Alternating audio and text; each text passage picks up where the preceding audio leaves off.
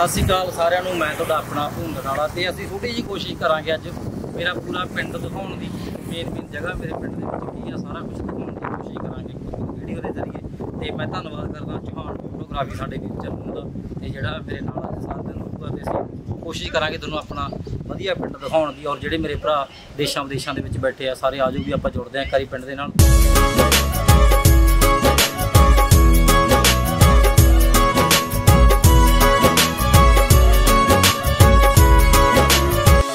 ਇੱਕ ਸੈਲਫੀ ਬਾਪੂ ਦੀ, ਬੋੜਾਂ ਥੱਲੇ ਬੈਠੇ ਦੀ, WhatsApp ਕਰੀ ਹਾਣੀਆਂ ਓਏ। ਇੱਕ ਸੈਲਫੀ ਬਾਪੂ ਦੀ, ਬੋੜਾਂ ਥੱਲੇ ਬੈਠੇ ਦੀ, WhatsApp ਕਰੀ ਹਾਣੀਆਂ ਓਏ। ਇੱਕ ਫੋਟੋ ਬੇਬੇ ਦੀ ਚੁੱਲਾ ਚੌਂਕਾ ਕਰਦੀ ਦੀ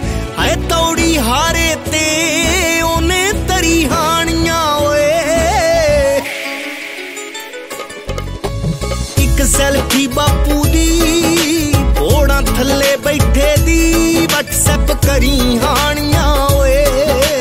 ਇੱਕ ਫੋਟੋ ਬੇਬੇ ਦੀ ਚੁੱਲਾ ਚੌਂਕਾ ਕਰਦੀ ਦੀ, WhatsApp ਕਰੀ ਹਾਣੀਆਂ ਓਏ।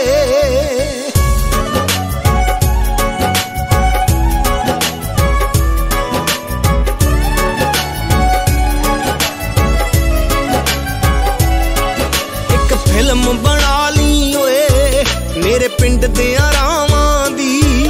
ਮੇਰੇ ਚਾਚੇ ਤਾਇਆਂ ਤੇ ਹਾਏ ਯਾਰ ਪਰਾਵਾਂ ਦੀ। ਇੱਕ ਫਿਲਮ ਬਣਾ ਲਈ ਓਏ, ਮੇਰੇ ਪਿੰਡ ਦੇ ਆਰਾਵਾਂ ਦੀ। ਮੇਰੇ ਚਾਚੇ ਤਾਇਆਂ ਤੇ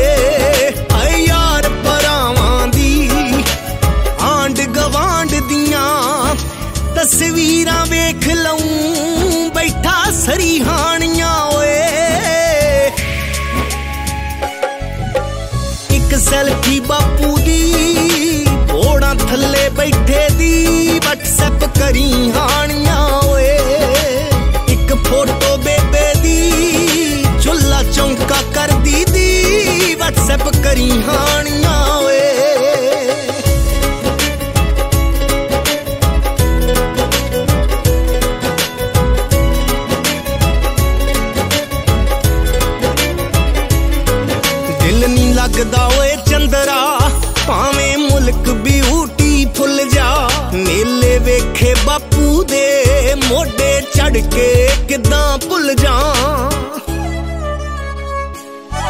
ਦਿਲ ਨਹੀਂ ਲੱਗਦਾ ਓਏ ਚੰਦਰਾ, ਭਾਵੇਂ ਮੁਲਕ ਬਿਊਟੀ ਫੁੱਲ ਜਾ। ਮੇਲੇ ਵੇਖੇ ਬਾਪੂ ਦੇ ਮੋਢੇ ਚੜ ਕੇ ਕਿਦਾਂ ਭੁੱਲ ਜਾ ਮਿਸ ਕਰਦਾ ਹਰ